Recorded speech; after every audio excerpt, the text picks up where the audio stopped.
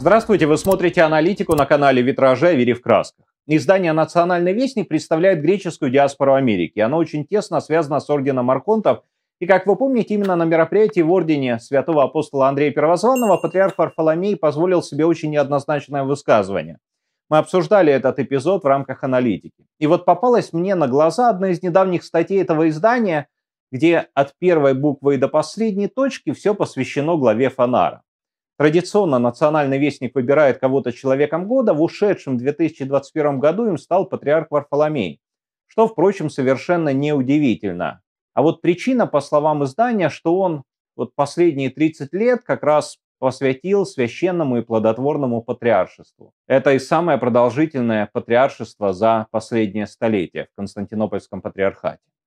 Вот начинается статья со знакомого многим рассказа о детстве и юности нынешнего главы Фонара. Вот все бы ничего, но от простого рассказа о жизненном пути вот они так ловко переходят к достаточно странному восхвалению. Цитирую. «Такова была воля Божия, чтобы этот бедный, но выдающийся мальчик, родившийся на плененном и измученном острове, стал 270-м преемником святого Андрея Первозванного, апостола Христа, предстоятелем православной церкви, призванным пасти все народы, став патриархом из Имвраса, патриархом Геноса и Кумены.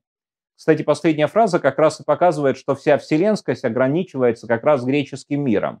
И тут бы, кстати, прозвучали слова патриарха Александрийского об осуждении этноцентризма, этнофилитизма, но он как раз часть той особой группы, которую собрал вокруг себя глава Фонара. Можно немного поспорить о терминах, о том, что они вкладывают в их значение, но суть не меняется. Мол, мы особые, и потому наш патриарх тоже особый. Идея первого без равных появилась далеко не на пустом месте. И орден Архонтов как раз среди тех, кто активно продвигает эту идею. Но вернемся к статье. Пропустим пару абзацев с перечислением учебных заведений, которые окончил глава Фонара. Не будем останавливаться на тех языках, которыми он в той или иной мере овладел, но я хотел бы обратить ваше внимание на те акценты, которые расставлены в статье авторами Вестника. Он оставался главой личного патриаршего офиса до своей интронизации в качестве митрополита Халкидонского – 14 января 1990 года. В июле 1990 года он сопровождал патриарха Дмитрия в его историческом 27-дневном визите в США в качестве его главного советника и администратора. 22 октября 1991 года его святейшество был единогласно избран Божьей милостью архиепископом Константинополя, Нового Рима и Вселенским патриархом после смерти патриарха Дмитрия 2 октября 1991 года. Исторический визит в Америку. Понятно, что это издание греческой диаспоры в США, но мне порой кажется, что вот Константинопольский престол давно перенесли куда-то, к примеру, в Нью-Йорк. Ведь так много всего связывает Фонар и США. Но вернемся к статье.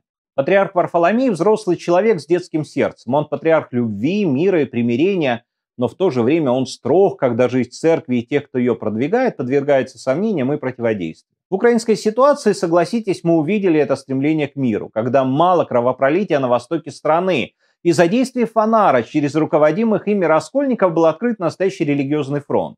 И думаю, не нужно напоминать о захватах храмов, и о нападениях, и даже об угрозах, когда и храм вроде бы захвачен, но делают все, чтобы выдавить любого представителя канонической церкви из населенного пункта, где находится этот храм. А как же еще описывает патриарха Варфоломея авторы греческого издания. Умеет оценивать прошлое, двигаться в настоящем и смотреть в будущее. Другими словами, он человек видения.